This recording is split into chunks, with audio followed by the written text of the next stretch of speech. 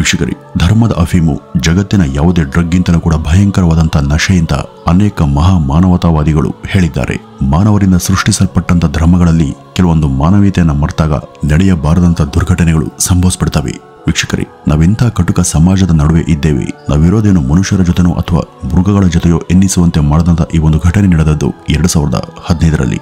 ವೀಕ್ಷಕರೇ, ಅವತ್ತು ಎರಡ್ ಸಾವಿರದ ಹದಿನೈದರ ಮಾರ್ಚ್ ಹತ್ತೊಂಬತ್ತನೇ ತಾರೀಕು ಆಫ್ಘಾನಿಸ್ತಾನದ ಸಾಂಪ್ರದಾಯಿಕ ಹೊಸ ವರ್ಷದ ಆಚರಣೆಗೆ ಇನ್ನೇನು ಎರಡೇ ದಿನಗಳು ಬಾಕಿ ಇದ್ವು. ಕಾಬೂಲ್ನ ನಿವಾಸಿಯಾಗಿದ್ದಂತ ಇಪ್ಪತ್ತೇಳು ವರ್ಷದ ಫರ್ಕೊಂಡ ಮಲಿಕ್ ಜಾದಾ ಕೂಡ ಹೊಸ ವರ್ಷದ ಆಚರಣೆಗೆ ಸಜ್ಜಾಗಿದ್ಲು. ಈಕೆ ತಾಯಿಯಾದಂಥ ಹೆಜೀರಾ ಬೇಬಿ ಕೂಡ ಮಗಳ ಜೊತೆ ಹೊಸ ವರ್ಷದ ಆಚರಣೆಗೆ ಬೇಕಾದಂತ ತಯಾರಿಯಲ್ಲಿ ಬ್ಯುಸಿ ಇದ್ರು. ಹೊಸ ವರ್ಷಕ್ಕೆ ಏನು ಅಡುಗೆ ಮಾಡೋದು, ಯಾವ ಸಿಹಿ ತರಿಸೋದು, ಎಲ್ಲಿಗೆ ಟ್ರಿಪ್ ಹೋಗೋದು ಎಂಬ ಬಗ್ಗೆ ಪ್ಲಾನ್ ಮಾಡ್ತಾ ಅದರ ಸ್ವಾಗತಕ್ಕೆ ಕಾದಿದ್ರು. ಅದಾಗ್ಲೇ ಸಮಯ ಮಧ್ಯಾಹ್ನ ಒಂದ್ ಗಂಟೆ ಆಗಿತ್ತು.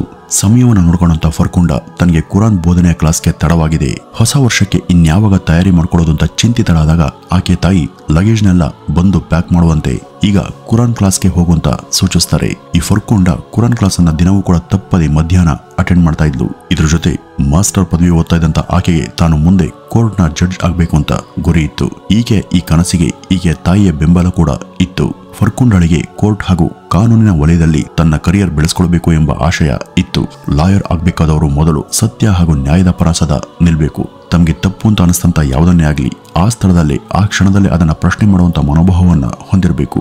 ಈಕೆಯದು ಕೂಡ ಇಂಥದ್ದೇ ಗುಣ ಸ್ವಭಾವ ಆಗಿತ್ತು ಆಕೆ ತನಗೆ ಅನಿಸಿದ್ದನ್ನ ಮುಖಕ್ಕೆ ಹೊಡೆದಂತೆ ಹೇಳುವ ವ್ಯಕ್ತಿಯಾಗಿದ್ಲು. ಅದು ಸರಿ ಇರಲಿ ಅಥವಾ ತಪ್ಪಿರಲಿ, ಅದರ ಬಗ್ಗೆ ತಮ್ಮ ಅನಿಸಿಕೆಯನ್ನ ಪ್ರಾಮಾಣಿಕವಾಗಿ ಹೇಳ್ತಿದ್ದಂಥ ಆಕೆ ಯಾವುದೇ ಕಾರಣಕ್ಕೂ ಮೌನವನ್ನು ವಹಿಸುವಂತ ಜಾಯಮಾನೋಳಲ್ಲ ಈ ಒಂದು ಗುಣ ನಿಜಕ್ಕೂ ಪ್ರಶಂಸನೀಯವಾದದೇ ಆದರೂ ಆಕೆಯ ಈ ನಿಷ್ಠುರತೆಯೇ ಆಕೆ ಜೀವಕ್ಕೆ ಮುಂದೊಮ್ಮೆ ಆಪತ್ತನ್ನು ತರಲಿದೆ ಎಂಬ ಊಹೆ ಕೂಡ ಆಕೆಗೆ ಇರಲಿಲ್ಲ.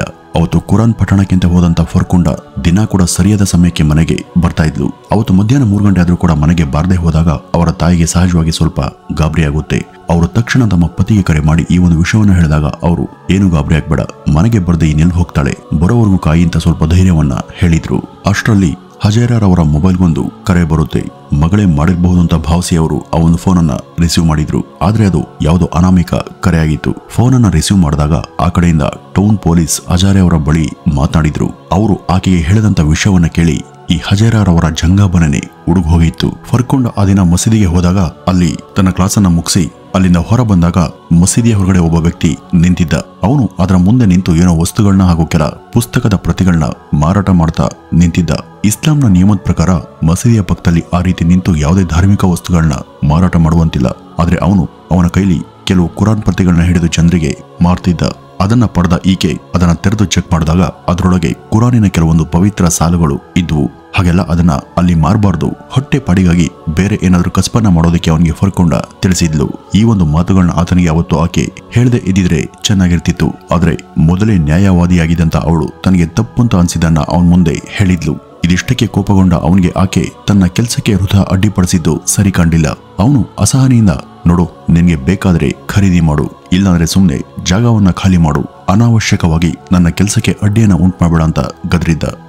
ಅಷ್ಟಕ್ಕಾದ್ರೂ ಆಕೆ ವಾಪಸ್ ಬಂದಿದ್ರೆ ಚೆನ್ನಾಗಿರ್ತಿತ್ತು. ಆದರೆ ಫರ್ಕೊಂಡ ಇಂಥ ವಿಷಯಗಳಲ್ಲಿ ಈ ಮೊದಲೇ ಹೇಳಿದಂತೆ ತುಂಬಾ ಹಠದ ಸ್ವಭಾವದ ಯುವತಿಯಾಗಿದ್ಲು. ಅವಳ ಹಾಗೂ ಆ ವ್ಯಕ್ತಿಯ ನಡುವೆ ಆ ಪುಸ್ತಕದ ಮಾರಾಟದ ವಿಷಯವಾಗಿ ತುಂಬಾ ದೊಡ್ಡ ಗಲಾಟನೆ ನಡೆದಿತ್ತು. ಇವನು ಹೀಗೆಲ್ಲ ಹೇಳಿದ್ರೆ ಕೇಳಲ್ಲ. ಇವನ ಬಗ್ಗೆ ಮಸೀದಿಯ ಮುಖ್ಯಸ್ಥರಿಗೆ ದೂರನ ಕೊಡೋಣ ಅಂತ ಆಕೆ ಅದರ ಕೇರ್ ಟೇಕರ್ಗೆ ಈತನ ವಿಷಯದ ಬಗ್ಗೆ ತಿಳಿಸಿದ್ಲು. ಆಗ ಹೊರಗೆ ನಿಂತಿದ್ದಂತ ಆ ವ್ಯಕ್ತಿಯ ಕೋಪ ಇನ್ನಷ್ಟು ಭುಗಿಲೆದ್ದು ಅವನು ಜೋರಾಗಿ ಕೂಗ್ತಾ ಈಕೆ ತನ್ನ ಬಳಿ ಇದ್ದಂತ ಕುರಾನ್ ಪ್ರತಿಯನ್ನು ಪಡೆದು ಅದನ್ನ ಸುಟ್ಟಾಕಿದ್ದಾಳೆ ಈಕೆ ತಾನೊಬ್ಬ ಅಮೆರಿಕನ್ ಆಗಿದ್ದು ಇಸ್ಲಾಂ ಧರ್ಮಕ್ಕೆ ಅಪಮಾನ ಎಸಗಿದ್ದಾಳೆ ಅಂತ ಆಕೆ ವಿರುದ್ಧ ಇಲ್ಲ ಸಲ್ಲದನ್ನ ಒದರೋಕೆ ಶುರು ಮಾಡಿದ್ದ.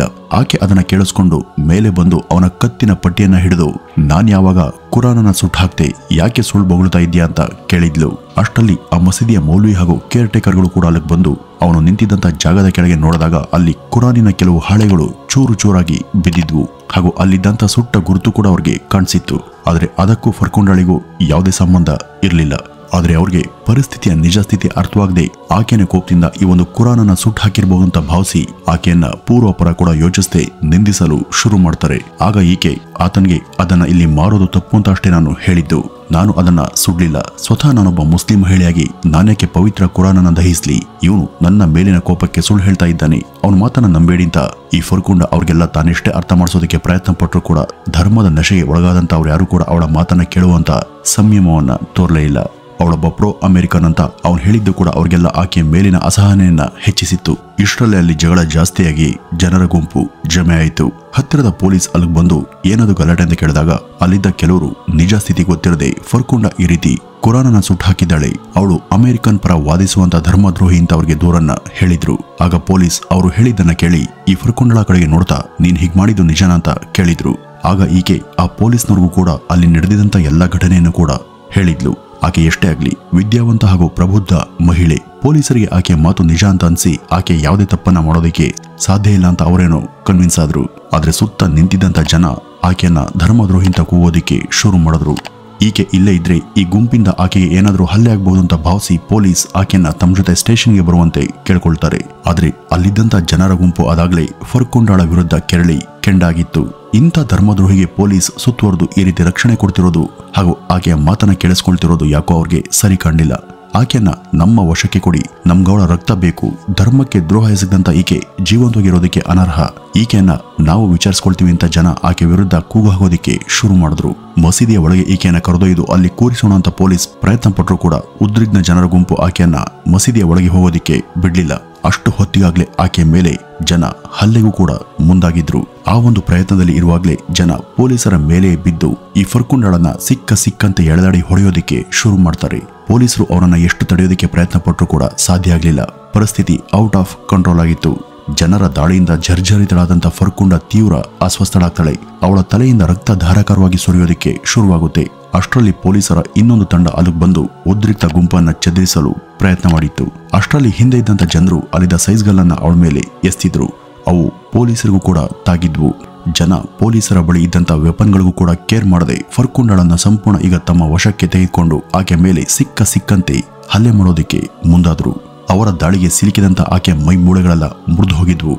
ಆಕೆಗೆ ನಿಲ್ಲಲು ಕೂಡ ಶಕ್ತಿ ಇರಲಿಲ್ಲ.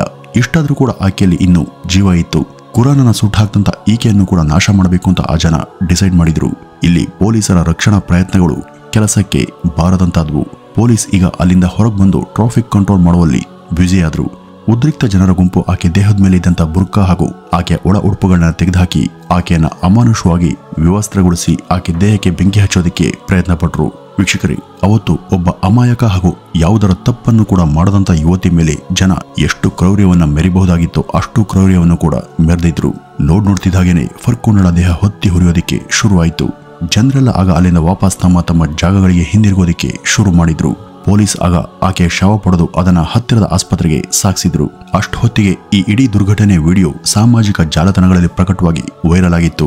ಧರ್ಮದ ನಶೆಯಲ್ಲಿ ಇದ್ದಂತ ಅನೇಕರು ಈ ಕೃತ್ಯದ ಹಿನ್ನೆಲೆಯ ಸತ್ಯಾಸತ್ಯತೆಯನ್ನು ತಿಳಿದೆ ಇದಕ್ಕೆ ಬೆಂಬಲಿಸಿದ್ರು. ಆಫ್ಘಾನ್ ಹಾಗೂ ಇತರ ಶರಿಯಾ ದೇಶಗಳ ಅನೇಕ ಉನ್ನತ ಸ್ತರದ ಅಧಿಕಾರಿಗಳು ಕೂಡ ಇದನ್ನ ಸಮರ್ಥಿಸಿಕೊಂಡ್ರು. ಆದರೆ ಇನ್ನೂ ಹಲವರು ಈ ಕೃತ್ಯವನ್ನು ನೋಡಿ ಬೆಚ್ಚಿ ಬಿದ್ರು. ಇಂಥ ಅನ್ಯಾಯದ ಸಾವಿಗೆ ನ್ಯಾಯ ಸಿಗಬೇಕು ಅಂತ ಆಗ್ರಹಿಸಿದ್ರು. ಫರ್ಕೊಂಡ ತಪ್ಪನ್ನ ಪ್ರಶ್ನೆ ಮಾಡದಂತ ಒಂದೇ ಕಾರಣಕ್ಕೆ ಈ ರೀತಿ ಬಲಿಯಾದ್ಲು. ಈಕೆ ಸಾವಿನ ಬಳಿಕ ನಡೆದಂತಹ ತನಿಖೆಗಳು ಅಸಲಿ ಸಂಗತಿಗಳನ್ನ ಹೊರಹಾಕಿದ್ವು. ಅವತ್ತು ಆಕೆ ವಿರುದ್ಧ ಆರೋಪವನ್ನ ಮಾಡದಂತ ವ್ಯಕ್ತಿಯನ್ನ ಇನ್ನೊಮ್ಮೆ ವಿಚಾರಿಸಿದಾಗ ಆಕೆ ಈ ರೀತಿ ಯಾವುದೇ ಕೃತ್ಯವನ್ನ ಮಾಡಿಲ್ಲ ಅಂತ ಗೊತ್ತಾಯಿತು. ಆ ಮಸೀದಿಯ ಸಿಸಿಟಿವಿನ ಚೆಕ್ ಮಾಡಿದಾಗ ಅದರಲ್ಲೂ ಕೂಡ ಫರ್ಕೊಂಡ ಕುರಾನ್ ಮಾರಾಟವನ್ನ ಕೇವಲ ಪ್ರಶ್ನೆ ಮಾಡಿದ್ದು ಮತ್ತು ಅದರ ಬಗ್ಗೆ ದೂರನ ಕೊಡೋದಕ್ಕೆ ಮಸೀದಿಯ ಒಳಹೋಗಿ ಬರುವಾಗ ಆತ ಆಕೆ ಮೇಲೆ ಸುಳ್ಳು ಆರೋಪವನ್ನ ಮಾಡಿದ್ದು ಗೊತ್ತಾಯಿತು. ಯಾವಾಗ ಈ ಒಂದು ಸುದ್ದಿ ಬಹಿರಂಗ ಆಯಿತು ಆಗ ಆಫ್ಘಾನ್ ಮಾತ್ರವಲ್ಲದೆ ವಿಶ್ವಾದ್ಯಂತ ಈ ಇಡೀ ಘಟನೆಯ ವಿರುದ್ಧ ಕೂಗುಗಳು ಕೇಳಬಂದವು. ಆಫ್ಘಾನ್ನ ಮಹಿಳೆಯರಂತೂ ಈ ಅಮಾನುಷ ಪ್ರಕರಣದಿಂದ ತೀವ್ರ ವಿಚಲಿತರಾದರು. ಇಸ್ಲಾಂನಲ್ಲಿ ಯಾರೊಬ್ಬರ ಸಾವನಲ್ಲೂ ಕೂಡ ಮಹಿಳೆಯರು ಪಾಲ್ಗೊಳ್ಳುವಂತಿಲ್ಲ ಎಂಬ ಕಾನೂನು ಇದೆ. ಆದರೆ ಆಫ್ಘಾನ್ನ ಚರಿತ್ರೆಯಲ್ಲಿ ಇದೇ ಮೊದಲ ಬಾರಿಗೆ ಆಕೆಯ ಶವಯಾತ್ರೆಯಲ್ಲಿ ಮಹಿಳೆಯರೆಲ್ಲ ಸೇರಿ ಒಟ್ಟಾಗಿ ಬಂದು ರಸ್ತೆಗಿಳಿದರು. ವಿಶ್ವದ ಸಾಕಷ್ಟು ಕಡೆ ಈ ಒಂದು ಘಟನೆ ಚರ್ಚೆಗೆ ಗ್ರಾಸವಾಯಿತು. ಮಹಿಳೆಯರು ಎಲ್ಲರೂ ಸೇರಿ ಈಕೆಯ ಸಾವಿಗೆ ಯಾರು ಕಾರಣ ಆದರೂ ಅವರು ಈ ಒಂದು ಅಂತ್ಯಕ್ರಿಯೆಯನ್ನು ನಡೆಸುವಂತ ಅರ್ಹತೆಯನ್ನ ಹೊಂದಿಲ್ಲ. ಅವರೆಲ್ಲ, ದೂರ ಇರಿ, ನಾವೇ ಈಕೆಗೆ ಅಂತ್ಯಕ್ರಿಯೆ ಮಾಡ್ತೀವಿ ಅಂತ ಮಹಿಳೆಯರೆಲ್ಲ ಒಟ್ಟಾಗಿ ಸೇರಿ ಈ ಫರ್ಕುಂಡಳ ದೇಹದ ಅಂತ್ಯ ಸಂಸ್ಕಾರವನ್ನ ಮಾಡಿ ಮುಗಿಸಿದ್ರು. ಆಫ್ಘಾನಿಸ್ತಾನದಲ್ಲಿ ಈ ಇಡೀ ಘಟನೆಯನ್ನ ರೀಕ್ರಿಯೇಟ್ ಮಾಡಿ ಕೆಲ ಹೋರಾಟಗಾರ್ತಿಯರು ಮುಖಕ್ಕೆ ಕೆಂಪು ದ್ರವವನ್ನು ಬಳಿದುಕೊಂಡು ಫರ್ಕುಂಡಳಿಗೆ ಆದಂತ ಅನ್ಯಾಯದ ವಿರುದ್ಧ ದಂಗೆ ಎದ್ರು.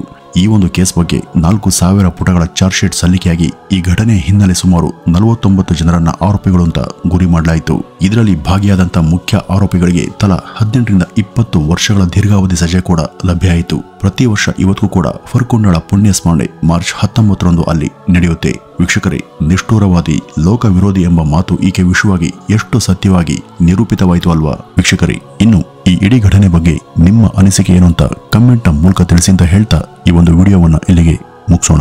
ನಮಸ್ಕಾರ.